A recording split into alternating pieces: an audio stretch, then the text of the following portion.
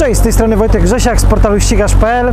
Jesteśmy dzisiaj na otwarciu salonu Suzuki Motors. Jest to już drugi salon motorsu w Warszawie, znanego warszawskiego dealera. Mm, Ale zebraliśmy się tutaj po to, żeby zobaczyć prezentację e, Suzuki GSX S1000 GT. Pod tą długą nazwą kryje się następca GSX S1000F, e, ale o tym opowiem Wam, jak już wejdziemy do środka.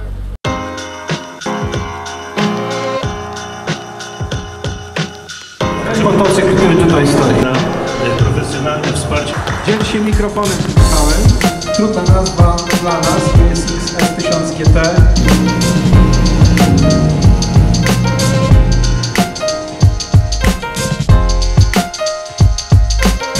Suzuki GSX S1000 w wersji GT został tak naprawdę zaprezentowany już w ubiegłym roku, natomiast chwilę musieliśmy poczekać zanim trafi do salonów. E, natomiast zanim przejdę do niego, zacznijmy od GSX S1000F, z którego on bezpośrednio się wywodzi, e, ponieważ GSX S1000F był produkowany od 2014 do 2020 roku e, i była to, był to tak naprawdę GSX S1000 z owiewką. Natomiast GSX S1000F, e, pomimo że oferował tę wygodę turystyka, to był tak naprawdę, mm, trochę wydawał się być zrobiony na siłę. Natomiast GSX S1000 GT to już jest zupełnie inna bajka, ponieważ motocykl ten został zaprojektowany tak jak powinien być zaprojektowany autostradowy turystyk i co więcej, ku mojej uciesze, e, Suzuki zaczęło wreszcie w swoich e, maszynach stosować troszeczkę nowocześniejsze rozwiązania, ponieważ jakbyście spojrzeli na zegary w GSX S1000F, ym, no to już troszeczkę trącą myszką, taka Japonia lat 90. Natomiast tutaj mamy 6,5 calowy wyświetlacz TFT, z obsługą Bluetooth, ma nawet moduł Wi-Fi. E, Dzięki aplikacji Suzuki MySpin możecie skorzystać e, z map, e, więc pod tym względem naprawdę super. Co jeszcze się zmieniło? Silnik zamiast 145, jeśli dobrze pamiętam, ma obecnie 152 konie mechaniczne. Motocykl też przytył o 12 kg, natomiast czy jest to wada? Nie sądzę i pewnie też niewiele osób to odczuje. To, co jeszcze tutaj się pojawiło, to quick shifter góra-dół, co również jest ogromnym plusem i ułatwieniem przy turystyce, ponieważ y, Suzuki tak naprawdę wcześniej w swoich motocyklach nie stosowało quick shifterów, no może z wyjątkiem GSX-era, gdzie, gdzie można było to dorzucić. Y, Natomiast tak, to, no to po prostu go nie było, a w turystyce się przydaje.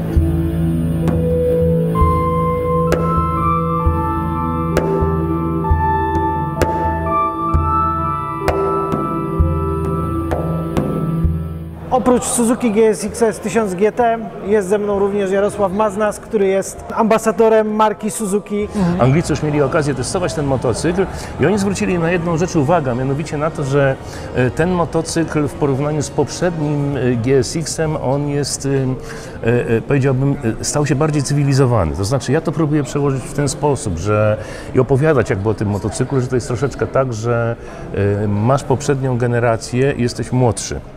E, oczywiście motocykl GSX, on Ci dostarcza pewnych, pewnych emocji, dostarcza Ci pewnych wrażeń, e, natomiast e, dojrzewasz, stajesz się coraz starszy, oczywiście nie chcesz rezygnować z tych doznań typu przyspieszenia i tak dalej, i tak dalej, ale jednocześnie masz troszeczkę większe oczekiwania, jeżeli, chociaż, jeżeli chodzi, chodzi chociażby o komfort. I, i, i No dla tak, mnie, tu jest dokładnie, zawieszenie I, i Gietek jest właśnie dla mnie takim także przykładem, tak. że, że, że zostajesz wierny, y, dostajesz nową generację tego motocykla y, i ona jakby dojrzewa razem z tobą.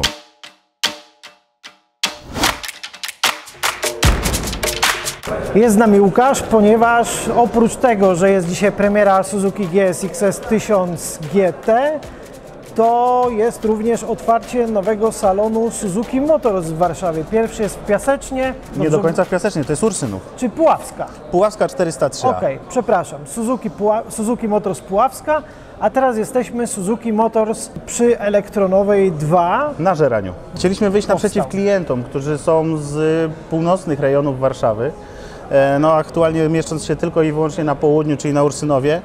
E, No, część klientów miała po prostu do nas kawał drogi do przebycia. Jeden i drugi salon jest dla ludzi. To, to chodzi bardziej o to, żeby no, zadowolić klienta, żeby no, nie musiał przejeżdżać przez całą Warszawę. Wiadomo, motocyklem raz, raz, ale no, z drugiej strony czasami motocykl trzeba zostawić na dzień, dwa tak. i wtedy możemy sobie wybrać punkt, do którego docelowo możemy dostać się szybciej. Jesteśmy przygotowani na wszystko. Jeżeli mówimy o najprostszej wymianie oleju, zapraszamy. Jeżeli mówimy o generalnym remoncie silnika, śmiało. Jeżeli coś Cię niepokoi, masz y, obiekcje co do pracy silnika, czy do nas na Puławską, czy do nas na Żerań, śmiało, zawsze, zawsze każdy klient jest miło widziany. A skoro dzisiaj oglądaliśmy GTK, co...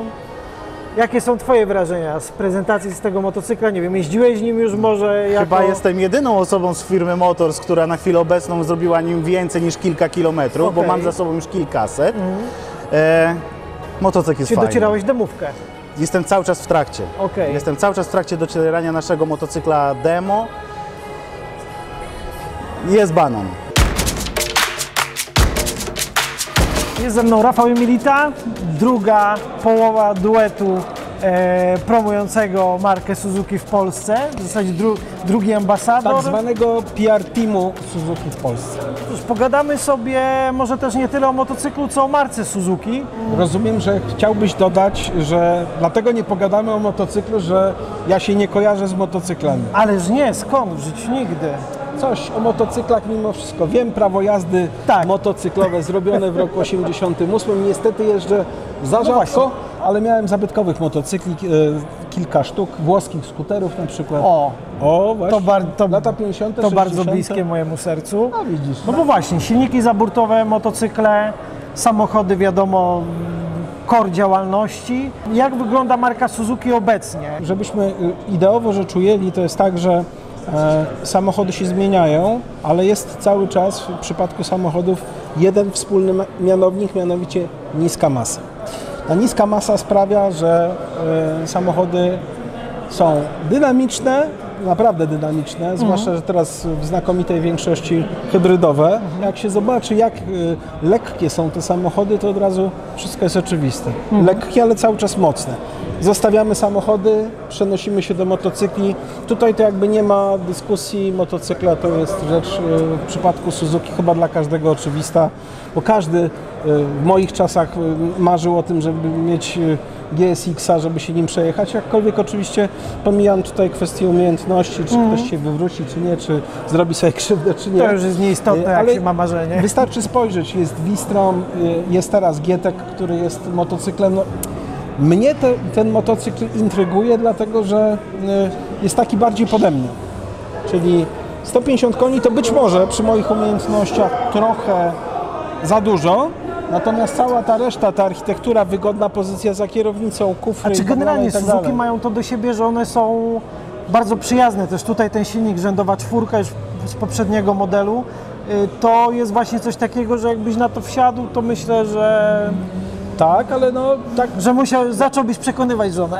Powiem w ten sposób. y, W tym roku zaplanowałem sobie motoszkołę, udział w motoszkole, Mhm. O. po to, żeby sobie poprawić swoje własne umiejętności i żeby z poziomu 600 wejść kilka leveli wyżej, wsiąść Mhm. tak. na taką tysiączkę i wtedy tak zupełnie bez stresu, żeby to zrobić. Co tutaj jeszcze mamy? To jest akurat wersja Travel Pack, którą tutaj widzicie, więc dodatkowo jest y, wysoka szyba, grzane manetki, tutaj tego nie ma, ale jest też tankback, y, są kufry z panelami w kolorze nadwozia, także y, podstawowa wersja kosztuje 69 900 zł. I tutaj jak czytałem kolegów z innych branżowych mediów y, opinie, no to jedni twierdzą, że to jest dużo, inni twierdzą, że to jest ok. Ja bardziej też się przychylam ku temu, że, no, że to jest ok, zwłaszcza, że jeżeli chcecie mieć travel pack, to dopłacacie i jest 75 900, więc to też, to też nie, jest, y, nie jest złe. Poza tym, co tutaj jeszcze mamy? Y, Mamy przede wszystkim y, z racji tego, że są cztery cylindry w rzędzie, no to krzywa momentu obrotowego i mocy powinna być gładka i zapewne taka jest. Y, Do tego jeszcze są standardowe systemy Suzuki, czyli mamy trzy mapy zapłonu, mamy osobne sterowanie kontrolą trakcji, quick shifter można wyłączyć. Do tego jeszcze jest rozrusznik, y, gdzie nie musicie trzymać przycisku, tylko wystarczy zrobić pyk i on się odpali. E, No i system wspomagania jazdy na niskich obrotach, czyli jak przyciskacie się w korku, to motocykl nie dostanie czkawki, tylko będzie utrzymywał obroty w taki sposób, żeby móc y, płynnie przejechać. Więc pod tym względem Suzuki ma bardzo sprytne, bardzo fajne, bardzo przemyślane rozwiązania. Y, Testówka z tego co wiem już jest i wkrótce test pojawi się także na ścigaczu, jak tylko dostaniemy ten motocykl w swoje ręce. Y, No cóż, zżera nas ciekawość. Na razie musimy się zadowolić y, statyką. Stylistyka, jak widzicie, jest bardzo nowoczesna, bardzo agresywna. Y, Mamy tutaj też coś na kształt skrzydeł aerodynamicznych. Wiadomo, tradycja MotoGP zobowiązuje. Także no, ja jestem zaskoczony bardzo pozytywnie, jeżeli chodzi o statykę, jeżeli chodzi o to, co mamy na papierze. Zobaczymy, jak będzie w trakcie jazdy.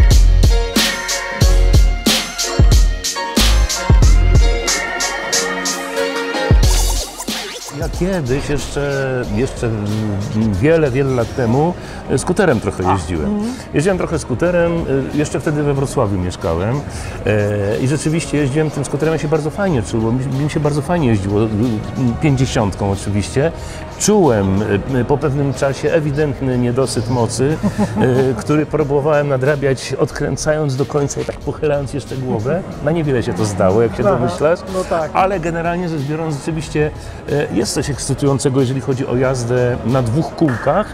Natomiast powiem szczerze, że mnie mm, troszeczkę od jazdy motocyklem odstręcza jedna rzecz, to znaczy e, kierowcy w samochodach. Ja nie twierdzę, że wszyscy, bo wielu kierowców, którzy siedzą za kierownicą, jeżdżą również motocyklami i nawet czasami jak się widzi, to też powiedzmy reagują w odpowiedni sposób, widząc w lusterku na No bo to przykład się chyba też trochę wszystko zmienia, ta Tak, bo się- kultura tak, jazdy, tak, do tego zmienia jeszcze się. Jest- je- mamy jest- te je- czynniki mo- monitorowania martwego Tak. pola i tak dalej, to jakby też chyba ma wpływ Jest inna, zdecydowanie jest inna kultura jazdy, ale mimo to po prostu, ja się po prostu bałbym kierowców samochodów. Masz Suzuki jakąś historię, czy jak to wyglądało E, Mam. u Ciebie? Mam.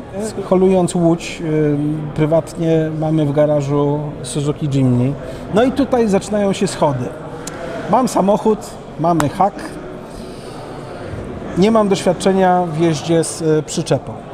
Jakieś tam przyczepki się w życiu holowało, ale generalnie mam za sobą Łódź, która ma swoją długość plus y, maszt, to razem mniej więcej taki zestaw 9-metrowy, 9, może nawet 10 metrów długości, czyli dosyć duży.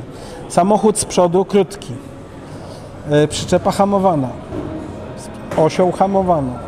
No i wszystko super, wszystko fajnie, ruszamy i myślę sobie, cholera, chyba jednak trochę za ciężka na ten samochód. On ma w papierach napisane, że ciągnie 1,4 tony. No więc idę jeszcze raz sprawdzić wszystko i co? Jadę z zaciągniętym ręcznym. A Jimny ciągnie ponadtonowy jacht, potężną przyczepę i ciągnie. Taką mam między innymi przygodę związaną z samochodami. A jeśli chodzi o skutery, to y, y, miałem kilka takich pomysłów, żeby pokazać, że 50 nadaje się do jazdy międzymiastowej. No, powiem szczerze, nie do końca to się udało zrobić. Uważam, że y, w polskich warunkach to bywa niebezpieczne. Bardzo niebezpieczne. Tam dwa razy miałem okazję wyglebić. To była taka niezbyt fajna przygoda, ale nic mi się nie stało, także szczęśliwie ręce, nogi całe, trochę tylko podrapane. Ale zjechałem całe Mazury Skuterem. skuterem, takim, taką pięćdziesiąteczką. Chodzi mi o temat elektryfikacji. W Suzuki Aha. jeszcze tego nie ma. Nie ma. E, aczkolwiek wiem, że był testowany w Indiach Burgman e, elektryczny. E, w samochodach jest to już dość powszechne. Zresztą sam też zdarzyło mi się przyjechać akurat hybrydą. Co, co o tym sądzisz? Czy to też na motocykle może mieć dobre przełożenie? Niektórzy mówią, że to jest coś takiego, że człowiekowi gdzieś tam w żyłach płynie benzyna, prawda? Ja tam z tą motoryzacją jestem związany od wielu, wielu, wielu, wielu, wielu lat. No właśnie. Natomiast y, y, powiedziałbym w ten sposób, że ja rzeczywiście poznałem, miałem okazję poznać tę elektryczną motoryzację. E, Pierwszy raz samochodem elektrycznym jechałem jakieś 12 lat temu. E, Miałem okazję kilka lat temu e, przejechać odcinek Warszawa-Kraków, Kraków-Warszawa elektryczną Teslą. E, I powiedziałbym w ten sposób, że jeżeli chodzi o elektryczną, motoryza- elektryczną motoryzację, jak najbardziej, ale w ściśle określonych warunkach. To znaczy, nawet jak się rozmawia z producentami samochodów, e, to oni też nie do końca jakby e, chcą, żeby ta elektryczna motoryzacja stała się totalna, może w ten sposób. Z- Zakończę to może w ten sposób taką, taką anegdotą. E, Swego czasu była prezentacja mm, Ferrari Italia i grupa dziennikarzy, która była na tej prezentacji, mówią, że no oni mają zastrzeżenia pewne. Im się jedna rzecz nie podoba w tym samochodzie. E, Jaka padło pytanie? No te światła LEDowe, przednie światła LEDowe, które tam znajdują się, które idą jakby pod kątem. Wiesz, jaka była odpowiedź y, przedstawiciela Ferrari? Musicie się przyzwyczaić. I to samo jest z motoryzacją elektryczną, to samo jest z tą nowoczesną motoryzacją, która może nam się nie podobać, ale niestety musimy się przyzwyczaić, że taka będzie ta No motoryzacja. i to chyba trochę będzie naturalny proces. Bardzo Dzięki. Ci dziękuję za rozmowę. Dzięki.